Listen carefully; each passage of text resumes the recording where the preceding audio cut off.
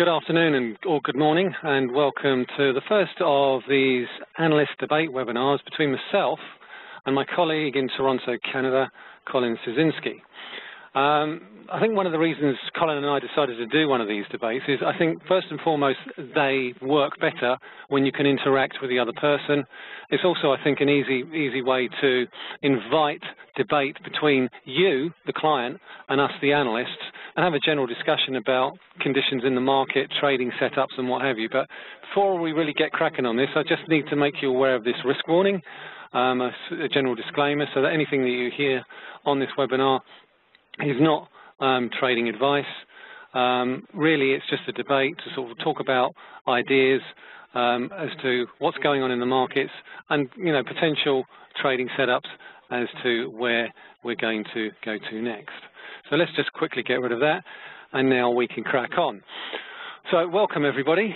As I say, my name is Michael Hewson. Most of you probably know me already, and um, Colin, my colleague, is also on the line as well. Hi everyone. Thank you all for joining us today.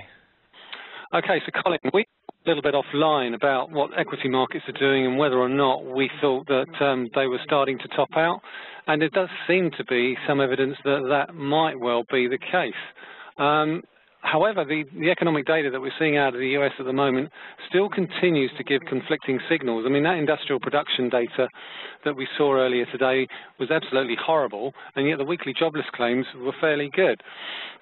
You know, so I think we're still in two minds with respect to what the Fed are going to do or continue to do, and we've obviously got the Fed minutes next week as well.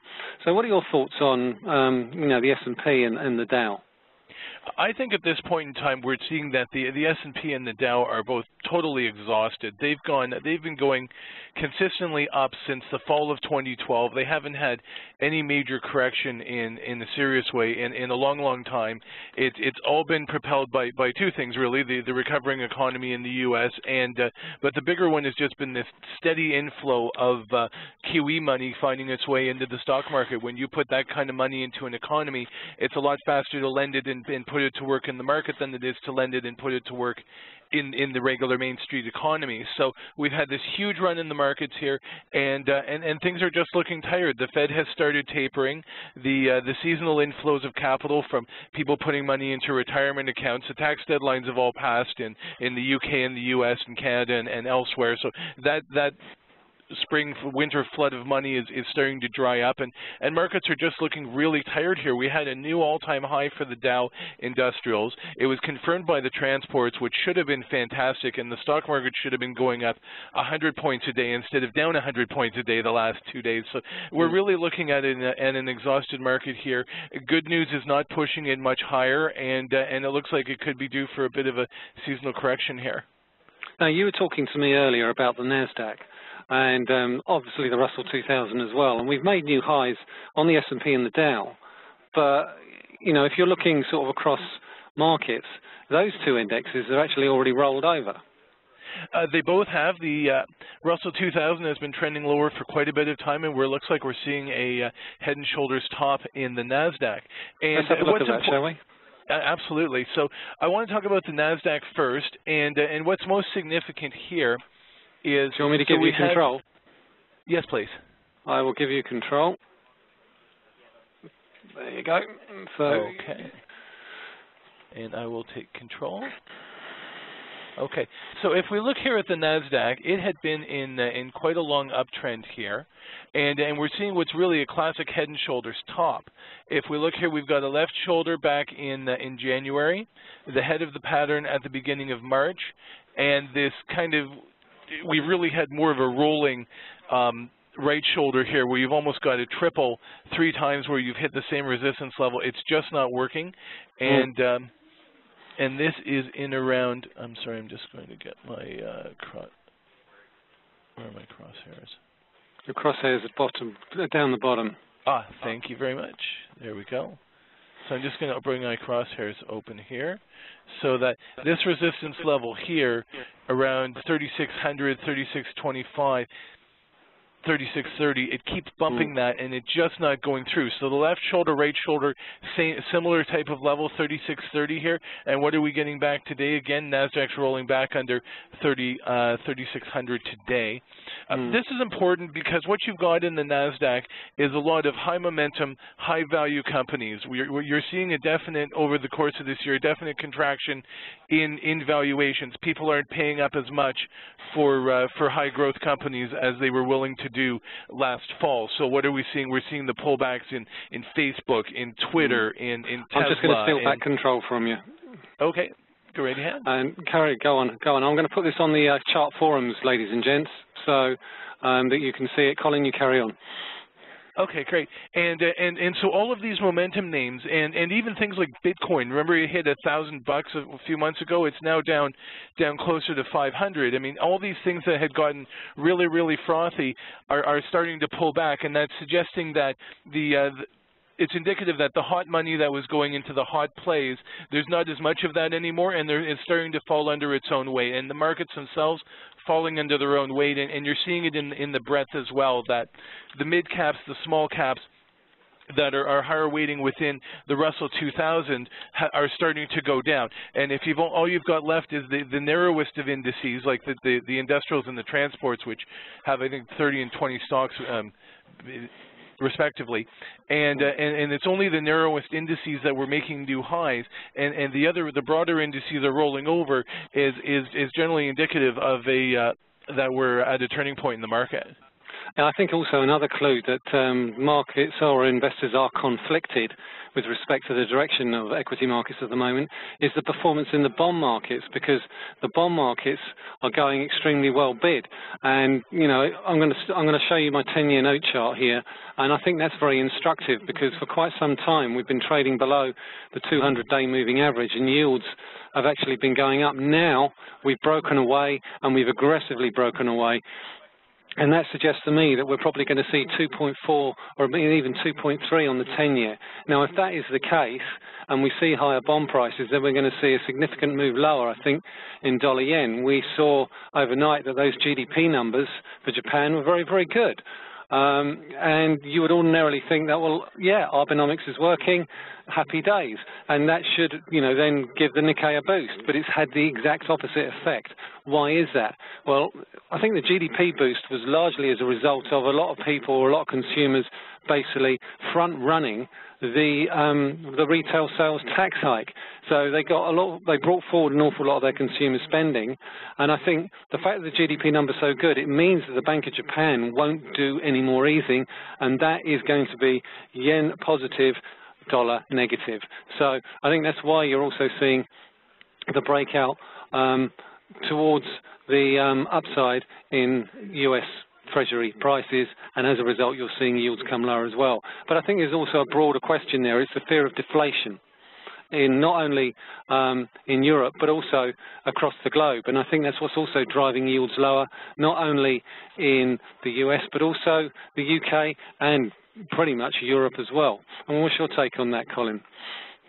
Uh, yeah, I, th I, think you're absolutely right. That's why we're seeing the uh, the ECB certainly talking about um, talking about uh, more stimulus uh, going forward is I think it's it's as much driven by the uh, the fear of deflation as the uh, as as the sluggish economy uh, and trying to get things moving there. I mean, Europe has had a a sluggish economy for quite some time, and uh, but the the ECB has you know basically been letting it kind of work itself out, and um, and only now they're starting to talk about getting more aggressive. And and as I said, I think it's the uh, the deflation worry, and that's why I think we're seeing the uh, the money starting to flow back more recently again out of the uh, out of the the high and frothy stock markets back into uh, back into some of the more defensive markets that had come down lately. So you're seeing U.S. Um, bonds starting to pick up. We've seen the gold is having up and down days, but it at least looks like it's uh, kind of stabilizing, and, and certainly interest coming back into the uh, into the yen as well. Mm. And also Canada's starting to look a little bit better supported despite some of the, um, what I should say, choppy nature of the jobs data that we've, we've, we've seen out of um, North America. I think one of the things I've noticed about the Canadian jobs data is how different it has been from US jobs data, and we've got a nice little breakout here on the EuroCAD. I don't know whether you guys have been watching this, but this was something that I posted, I think, a couple of days ago, and actually talked about on my weekly video. This head and shoulders reversal that we've broken out of, and um, you know, basically, this is a very simple technique that I use for measuring a target for the head and shoulders reversal. So what I'll do is, I've, first and foremost, I'll identify it. One of the reasons, one of the ways I can do that is using pattern recognition and when I used pattern recognition on um, Euro Canada, what I was able to do, or what it was able to do, is it was able to identify that pattern for me. So I was able to see it right there once it had scanned the chart. Um, what I was then able to do is by using my Fibonacci projection price, Fibonacci price projections option here, I basically select this high here, and I basically project down to the base and then project lower from the breakout point, and that gives me my targets. So my target if for this head and shoulders breakout now is around about 145.50. So as long as we can push below this series of lows in February, which um, which I will just now get rid of this, there we go, this series of lows in February, which is around about 149. If we look at the chart forums again, there it is. Okay, so this was something I updated on the 13th on the Monday. So we need to break below 149 to confirm a move towards the 200-day moving average and this trend line support, which if I now zoom it out all the way back to 2012, basically comes in round about the same level. So that's a really nice head and shoulders that's sort of blown, sort of been borne out by this move lower in the euro.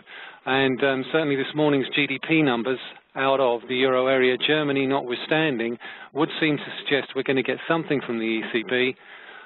Um, the only really debate really surrounds is as to what we're going to see. I don't think we'll see any QE, but I certainly think we'll see a movement on rates. What's you know what's your view on that? Uh, I think you're right. Can I uh, take control back again for a second, you Michael? can indeed. Yeah, let me just assign that back to you. One thing that's important and, and, that Michael's highlighted here, and, and I think it's important for us to note as, as traders, is that uh, whenever you're looking at a, at a pattern or, or at a chart, the more things that come together to to suggest that something could happen, the, the, greater the level of confidence. So in in this case, for example, when you're looking at a at projecting a price where you have a Fibonacci and and a trend line coming in closer to close together, or, or what I call clustering, when you start to see a number of things pointing to a certain area, markets can be psychologically drawn to that point. So it's uh, it's quite significant. The other thing I wanted to highlight here was, of course, we've got the the shorter term, we've got the price pattern. The other thing that we have in uh, in here is uh, on top of having a, a, head and shoulders top and and some shorter term trend line breaks. If we look down here at the stochastics, we also see that we have a pretty significant, and been going on for quite some time, a negative divergence. So you've got high, lower highs in the stochastics, and it's been similar in the RSI.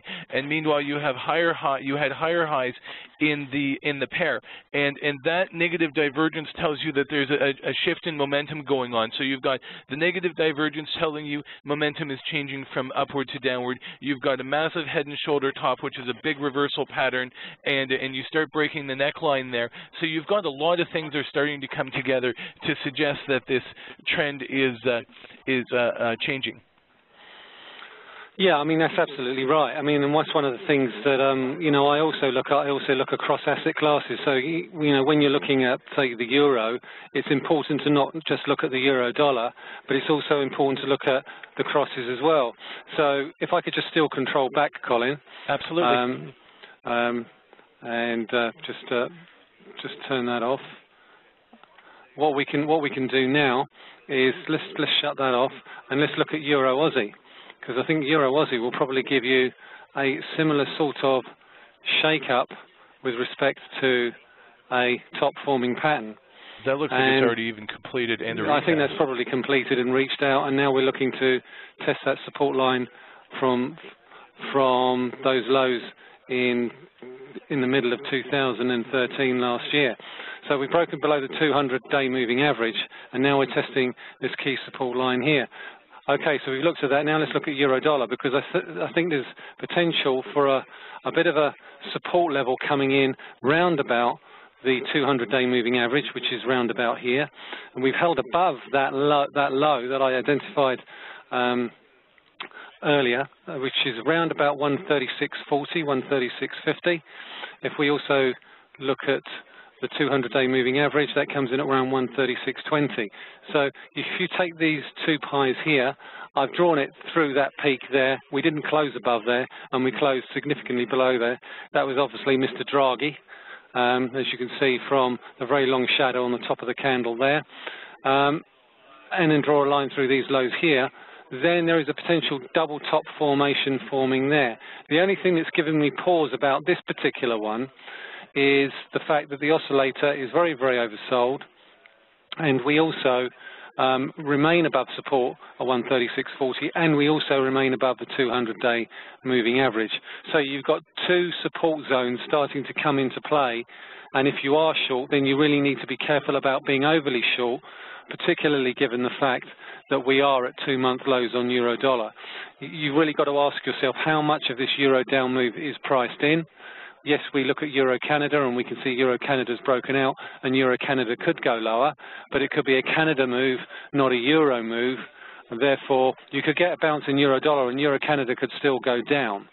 So I think it's important to, to look at that because you have to look at the potential interest rate policies of both central banks as well as obviously the um, linkages between the two um, or, or the different the different crosses. It's a different story for euro sterling. We can see that here because we pretty much know that um, the Bank of England and the European Central Bank are on completely divergent monetary policies. So let's tidy this chart up a bit because it's looking a little bit a little bit tatty at the moment. We're in a we're in a downtrend. I'm going to make sure that I can anchor my trend line onto the top of these highs there, and then I can basically draw that through there. So we're trading in a nice little down channel there. Uh, we've had a very very strong rebound yesterday, but we've pretty much come all the way back. Now that's not to say that we haven't found a short-term base down here and we can't squeeze back up again. I certainly think there's potential for, to, for us to come all the way back to around about 82.20, um, given the fact that it was quite a big support area through these these levels here. And then when I'm when I'm looking at a chart um, for support and resistance levels, this is something that I look at in a significant amount of detail. I look at the peaks and the troughs, and I look for what Colin has mentioned earlier, clustering, a clustering of support and resistance levels, which essentially tells you where the congestion points are with respect to highs and lows. So if I can basically extend that to the left like that, you can see that we also found a little bit of a high and low, a little bit of a low support there, and there and there. So if you've got any positions or short positions in euro sterling, then I would certainly look at putting the stop loss either above 82 or above this trendline resistance, which is coming down from the March highs. Is there anything that you'd like to have a look at, Colin, or talk about? Um, um, could you go back to Euro Aussie for a second, Michael? I can indeed, yep. Do you want me to cede control?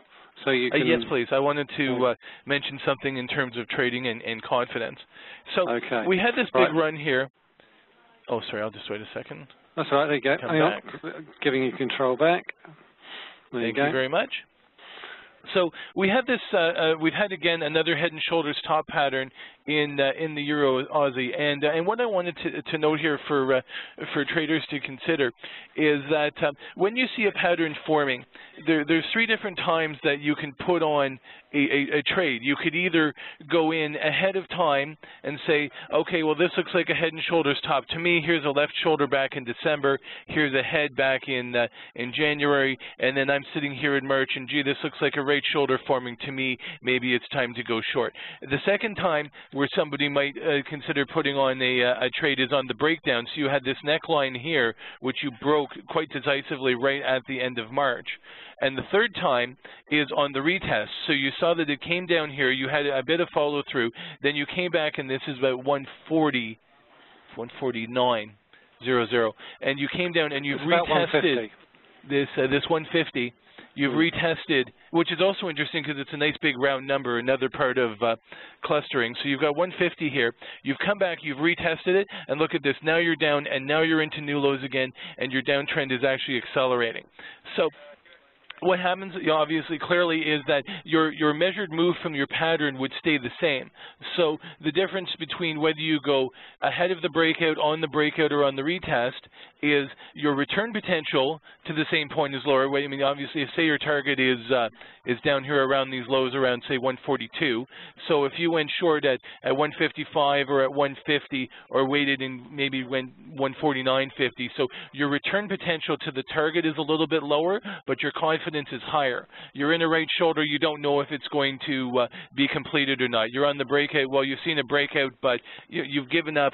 It's improved your confidence because you've had the breakdown, but it's decreased your return potential a little bit. And then on the retest, um, in this particular case, we got one. The risk of waiting for a retest is that you don't always get a retest, and sometimes it just the trade gets away on you. But uh, and certainly in the markets, there's always a uh, there's always another trade coming but that's uh, that's an interesting. Uh, it's a trade-off there that's uh, that's worthwhile for people to consider when you're looking at patterns. I think that's absolutely right. I think you hit the nail on the head there, Colin. You know, I think it's easy to sometimes jump in because you're worried about missing the move, but I think it's always better to be cautious um, and and make the mistake of jumping in too early and then finding that you can't run the stop as much as you'd like and actually getting stopped out prematurely. I always I always work on the basis let the market come to you because there'll always be another trading opportunity and um, you know they're like London buses. We have you know we have an old joke here in in the UK. Um, you don't see a London bus for about you know 20 or 30 minutes, and suddenly three of them come along at the same time. It never so fails. It, it's the same here. it's, it's it, you know it's, trading is a bit like that. Sometimes the best position to have is no position at all, and then suddenly you'll see three great trading opportunities you know, and um, then you're spoilt for choice. So I think it's always important to, you know, remember that um, just because you can't see a trading opportunity right now doesn't necessarily mean that you're not going to see um, some trading opportunities in the near future. Okay, Colin, was there anything else that you wanted um, to um, to look at? Um, shall we look at gold? Sure, let's take gold, a look at gold. That's, that's always a nice old favourite. That's been extremely choppy today. Um, I'm going to look at that daily chart there, but before I do that, um, let's just pull it, pull this to one side, and um, and uh, we'll also do uh, an ordinary chart. We'll just do an ordinary chart like that, and then we'll do slightly shorter term. There we go. And as we can see from that, we've been a bit choppy over the last four hours. Um, but for me, you know, this, this longer term gold chart tells me that at the moment we're in a massive consolidation mode. If we look at these very, very long shadows on the daily candles, we can see here that there's certainly an awful lot of what I would call pent-up demand down there because a long shadow on a candle tells me that the markets are very, very worried about being overly short. Um, and on the top side, we've also got um, the 50-day moving average acting as a significant resistance level. So let's go and basically stick this in here and here. And now there, there's, a, there's a potential trading opportunity there. On the top side, we've got resistance just below 1310. We've also got the 50-day moving average. So we've got a very, very small window there, and we can see that on the left-hand side, 1311, around 1315. We need this to break out, I think, probably within the next day or so, don't we, Colin? Because I think if it moves into the apex here, it, will it'll generally peter out. The thing with triangles, and I like triangles, is you, you're really looking to either you're looking to trade the break because they're impulsive moves. We what we don't want to have happen is for this move to just basically peter out into the apex. Now the apex is all the way over in June. So I think if we're going to break out in gold, we need to do, either break to the upside, and the way to then project the target for gold is again use the Fibonacci projections option here, the Fibonacci price. You basically take the move here, which is the horizontal move, and that's the base of your triangle, and you then project up like that or you project down the other way. So if this breaks out to the top side, then if this breaks out to the top side, then our target, our minimum price objective, is 1364, $1,364. In a simple measuring technique, you basically take the base of the triangle and you project it upwards from the breakout point. If it breaks to the downside, you do the exact opposite. So let's do this the other way around. Let's project it downwards. So rather than going from the bottom to the top, let's go from the top to the bottom. We'll do that, and then we'll do, do that there. So if it breaks to the downside, then we're looking at 1226 as the minimum price objective. And that's essentially how you play triangles. But, and this is a big but, a triangle needs to break out between 50 and 75% of where its apex is. So really this triangle needs to break out within the next day or so. Otherwise what we're going to continue to do is essentially trade sideways. There's certainly a significant amount of support on the gold price around about this 1270, 1265 area. I'd like to think that we're getting ready for a move higher or lower. The oscillator or the RS, the slow stochastic would appear to indicate that we're fairly neutral and it's probably more likely that we're just going to trade trade into the apex and continue with the current range. But it's certainly worth something keeping an eye on, and if we do close above the 50-day moving average, I would like to think we could have some potential to move higher, because I think if anyone's looking at that chart and they're short of gold, they'll probably put their stop loss above the previous highs of this month in May, which are around about $1,320.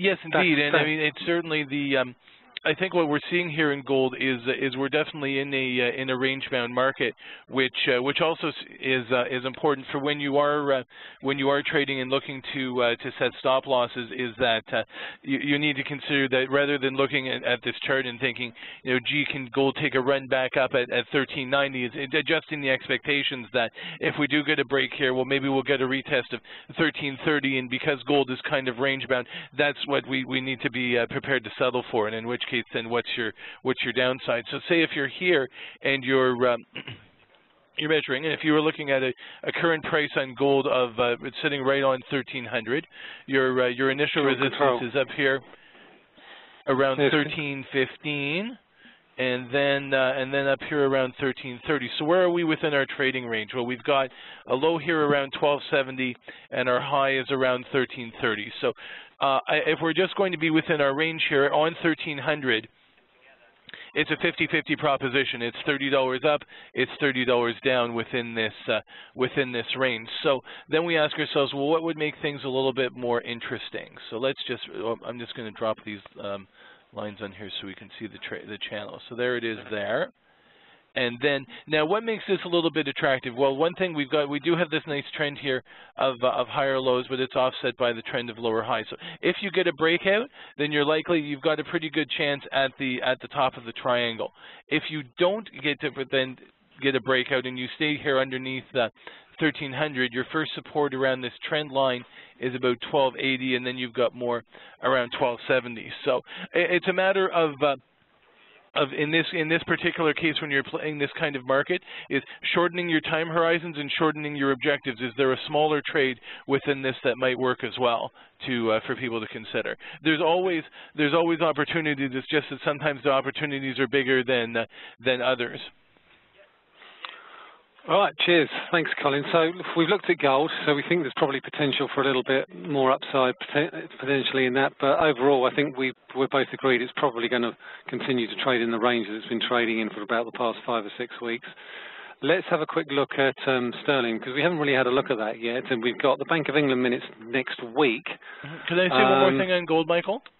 Sure. Yeah, absolutely. Do you want control back? So uh, no, I just wanted to say, so here if you're at 1300, it's a 50-50 proposition. But if gold, but if you figure that, okay, this trading range is going to continue for some time, if you drop back to 1280 and you're in a 1270 to 1330 uh, trading channel, your odds change dramatically. If say you go back to 1280, you've got $10 downside to 1270, you've got $50 upside to 1330, uh, trade, the trade then starts to look a lot more interesting from the long side. And similarly, if you took a run at 1320, 1330, it may look more interesting from the short side. Okay. Anyway, sorry, Michael, please continue. No, no, that's fine. That's no problem. So let's look at cable, and we can see from this cable chart that, you know, despite the fact that euro dollar is starting to look a little bit heavy and equity markets are looking fairly heavy, cable continues to look fairly resilient. It's finding support. Um, we did we did break below this um, trend line support from the March lows earlier this week. We are now trading below that, but we are finding a significant area of support around about um, the 50-day or just above the 50-day moving average, which is around about 167.20. And, and in my morning comment um, this morning, and actually in my morning comment for about the past couple of days, I'd have identified 167.20 as a bit of a level, and that's available on the blog. I tweeted out around about 6.30 in the morning, um, you know, of the, of the major currency pairs, euro sterling, euro dollar, dollar yen, and cable. I talk about, you know, the major, the major support and resistance levels to give an indication of direction. And certainly against the dollar, the pound has held up much the better of, say, the example, the euro but we are approaching a very, very key support level. So unlike euro dollar, which has broken below this its trendline support, the pound hasn't. And the, we've got trendline support from the November lows currently coming in round about current levels of 167.10, 167.20. So that's certainly worth keeping an eye on. Um, um, certainly, certainly on, on, the on the daily charts, even though the direction of travel does appear to suggest that we could well be looking to head lower. But I think a lot will depend on next week's minutes because I think that we're going to see some dissent between policymakers about when to raise interest rates.